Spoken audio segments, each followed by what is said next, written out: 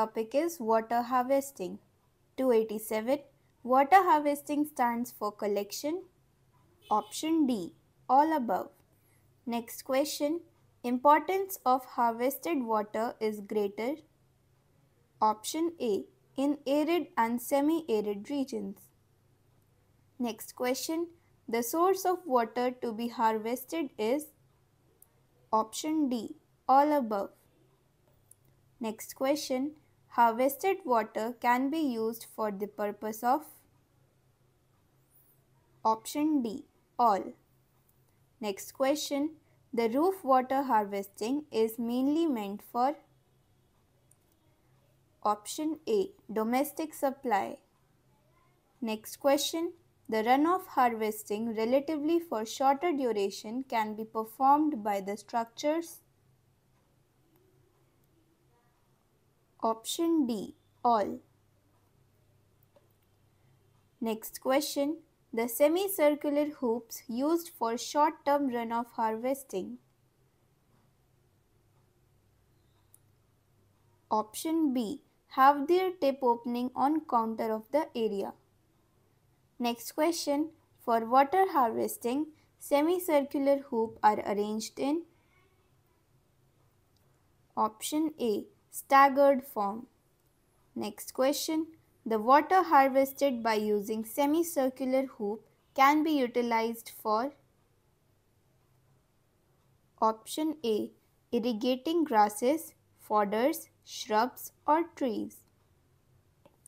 Next question. The water harvested by trapezoidal bunds can be utilized for irrigating. Option D. All.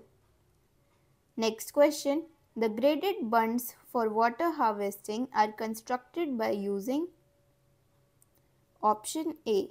Earth materials or stone. Next question. The runoff harvested by graded bunds is utilized for Option A. Irrigating crops. Next question. The water harvesting by rock catchment is performed through Option A. Depression. Next question. The water harvested by rock catchment is generally used for Option A. Domestic purpose. Next question. Runoff yield from a watershed can be increased by Option A. Cleaning all vegetations. Next question. The long-term water harvesting is done for the purpose of Option D. All. Next question. In dugout ponds, the lining is essential to Option D. Both A and B. Next question. The embankment type reservoirs for water harvesting are constructed by forming dam or embankment around the Option D. Both A and B. Next question.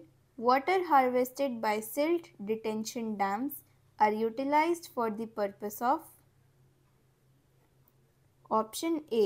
Irrigation. Next question.